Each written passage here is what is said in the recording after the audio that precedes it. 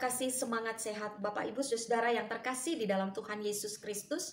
Setelah percakapan Yesus dan Nikodemus seorang Farisi yang adalah seorang pemimpin agama Yahudi. Yohanes menjelaskan dan memberi kesaksian tentang Yesus. Yohanes menyatakan bahwa hidup kekal sebagai jaminan untuk setiap orang yang percaya kepada anak tunggal Allah. Yesus adalah Mesias yang dinubuatkan dalam kitab nabi-nabi. Yesus lebih penting dan utama. Yesus hadir di dunia untuk menyatakan kebenaran akan hal sorgawi. Mesias datang untuk menyampaikan kabar baik dari Allah melalui diri Yesus Kristus.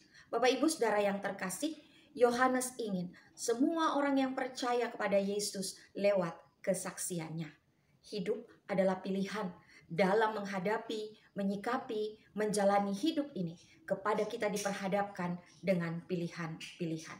Kita harus berhikmat agar pilihan yang ditetapkan adalah pilihan yang tepat, pilihan yang benar, bukan sekedar baik karena banyaknya pertimbangan atau kita sudah memikirkannya matang-matang.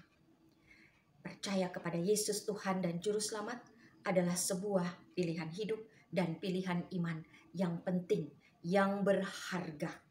Mengapa demikian Bapak Ibu Saudara yang terkasih? Yohanes 3 ayat 36 menyatakan, Barang siapa percaya kepada anak, ia beroleh hidup yang kekal. Tetapi barang siapa tidak taat kepada anak, ia tidak akan melihat hidup, melainkan murka Allah tetap ada padanya. Percaya kepada Yesus adalah syarat mutlak untuk memperoleh kelepasan dan keselamatan. Percaya kepada Yesus ditunjukkan dengan sikap dan perbuatan. Taat melakukan apa yang diperintahkan Tuhan. Jangan sekali-kali melepaskan pilihan dan komitmen percaya. Tuhan Yesus Kristus menderita dan mati karena taat kepada kehendak Bapa dan dengan pengorbanannya manusia ditebus, dibebaskan dari hutang dosa bahkan murka Allah. Keselamatan itu hanya ada pada Yesus Kristus. Memilih dan percaya kepada Yesus Kristus mengalami kebebasan dan keselamatan.